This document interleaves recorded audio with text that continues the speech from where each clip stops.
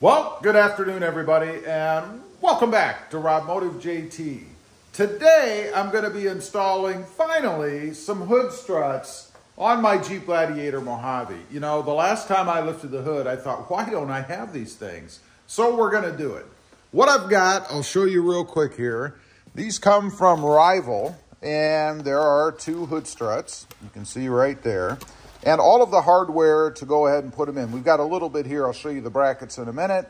All you need uh, is an Allen key, a number four, and then also a number 10 socket to put these on.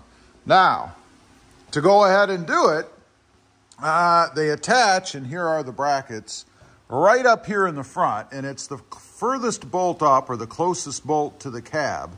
And it's actually going to be this one. When you put this on, you want to make sure that the little nub here is furthest away from the cab. Because the other one, if you put it on, would be opposite, obviously, and it would be like so, close to the cab. That would be wrong. Then you have the top bracket, which actually fits right up here where this slot is, and that's where we're going to put this in, and this is where the no drill part actually comes in. And it would go on like so. You'd slip it down over one bolt and turn it sideways and tighten it down. Pretty darn simple to do.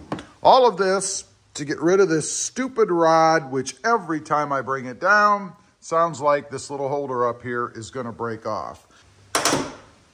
So first step to go ahead and mount these brackets on the sides. Again, they're 10 millimeter. We're gonna go ahead and do that. You may hear a pop that's normal. It's kind of the trim work right there. The trim work popping up uh, from, I guess, probably sticking to the paint down below. I'm not exactly sure why we get that pop, but we do. Normal thing. Then the bracket, and what I do is just push it up right against the, uh, the trim work here.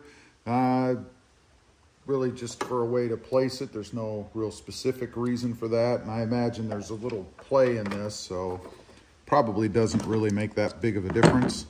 So got it on, got to go ahead and tighten it up. And I wouldn't go crazy tightening it. I mean, you certainly can strip the screw or strip the, strip the uh, threaded insert in there. So you just want to snug it real well. Nothing uh, over the top. And for me, I'm more of a put it on until my arm or the screw breaks kind of guy. So you want to make sure you don't do that. I'd say about just like that. So that's all you do to put that side on. Now, as I mentioned up here, we're going to go into this little uh, slot that's right here, you can see. To do that, we need to go ahead and thread a screw in here because we're going to use the screw to hold this bracket in that slot. You don't want it to fall in. I actually had that happen once on, uh, on an install I did, and I had to get another bracket. So we're just going to thread one in like so, and then we're going to use this to hold it while we stick it in, and then get the other screw threaded in there, and then nothing's going to fall out. So ever so carefully, I'm going to use the one screw to hold it, and then the other to uh, kind of get it threaded in there because it kind of straddles the area there a little bit. Once you get the other screw in, you're okay. It can't fall inside. Then you want to go ahead and slide the bottom of the slot over that screw. Just like that. And then you want to go ahead and just tighten it down. Again, it's a number four Allen key. And then we'll move on to the other side. Once you have it on, shine a little light. I know it's backlit. Uh, it should look like that. Obviously with the little nub here pointing on the inside, otherwise it'd be hanging outside of the truck. So we're gonna go ahead and do the other side.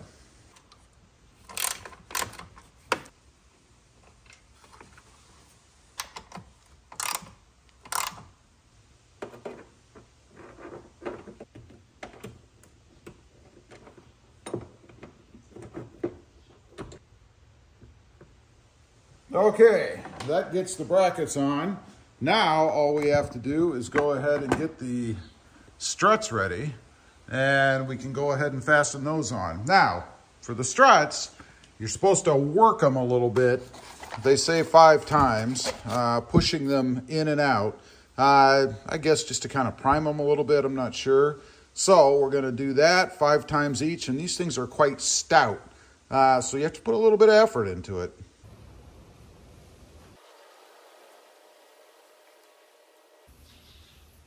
Full disclosure, when I sat the one I had just done down to grab uh, a cloth or something to put on my palm, because these do dig right into your hand, I forgot which one I had already done. So I did them both. Again, one twice. I don't know. Let's put them on.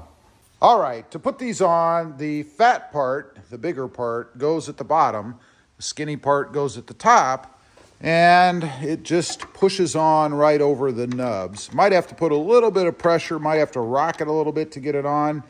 I'm not sure which one to start with is easier, honestly. So I think I'm going to start probably with the top, actually.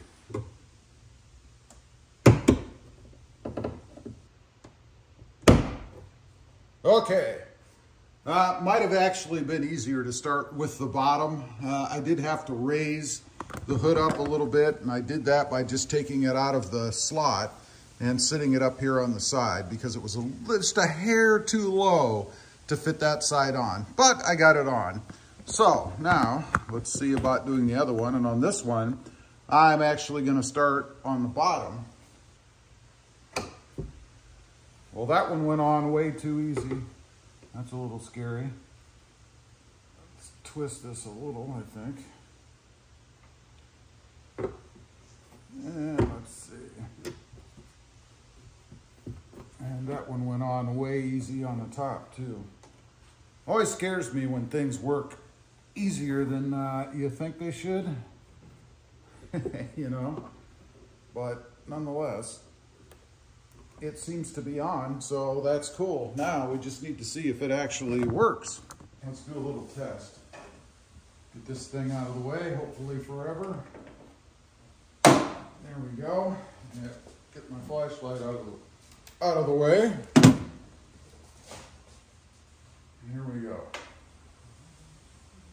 Well, that worked pretty easy. Now, there you go. Isn't that awesome? I got to tell you, it beats the heck out of screwing with this, muscling up the top, because if you didn't know, this is a steel roof or hood and it's pretty darn heavy. Not anymore. Check that out. Love it. Now, there's one thing I wanted to check because I have a Voswitch over here and I want to make sure that I have clearance, that I'm not hitting the wiring. So we're going to take a look at that. Look at that, just clears it. Wow. I didn't see any wiring move in there. Let's broaden this out a little bit. Okay, I think I'm golden. Awesome. One more quick uh, try. Put the hood down. Go ahead and just let it go. And even if I had to help it up, it takes such a, an amount of force off that it is well worth it. No more.